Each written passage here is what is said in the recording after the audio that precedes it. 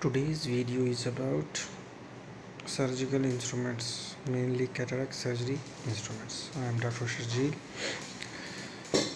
and today i would like to tell you about the surgical instruments. You can see these are lying here.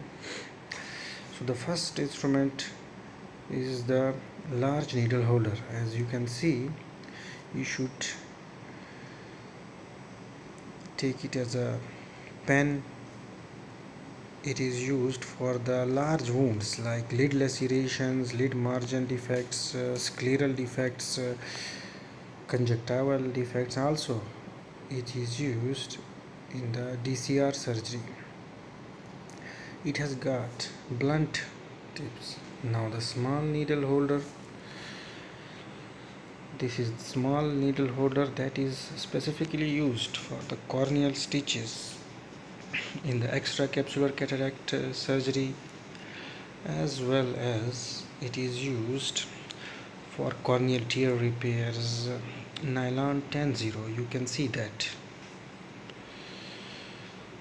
And the you should also be able to differentiate it from the scissor.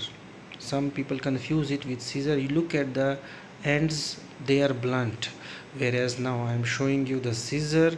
Scissor has got sharp edges whereas it has got blunt edges. So you should be able to differentiate between the corneal scissor as well as needle holder.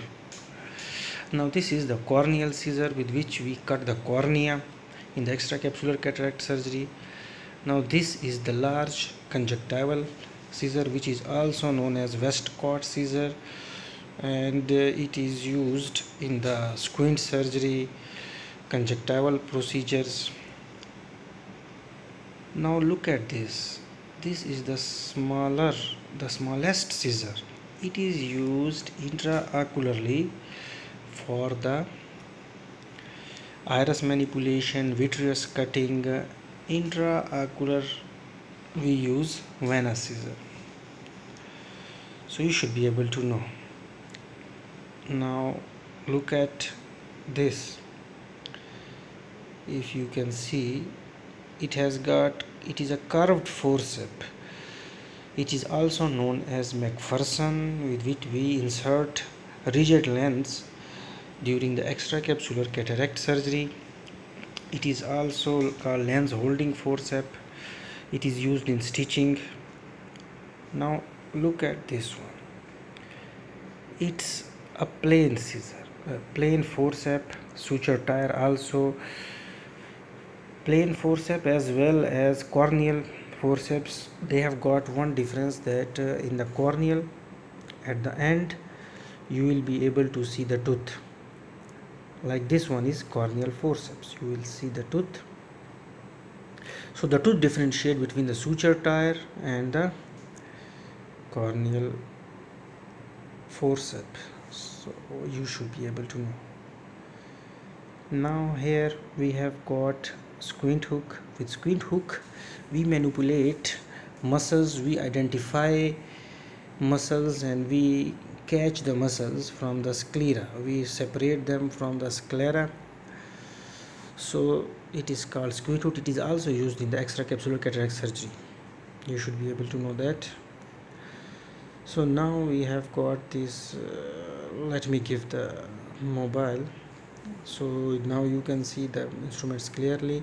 Now it's a dialer.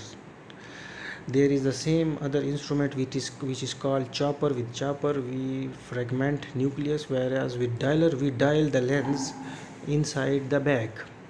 The dialer has got pointed end whereas the chopper has got a rounded end.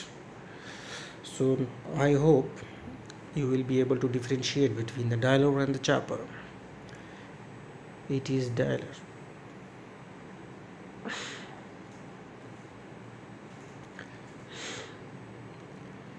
Now that is wire vectis. Wire vectis is also used in extracapsular cataract surgery along with the squint hook in the nucleus delivery.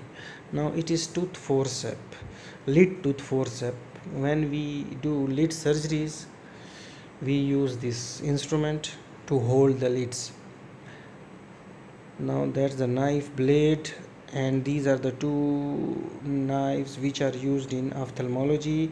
That is the 15 number with the rounded edge and that sharp cut that is 11 number. So these both are used in DCR in lid procedures now that is the eyelid speculum. With it we open the eye. During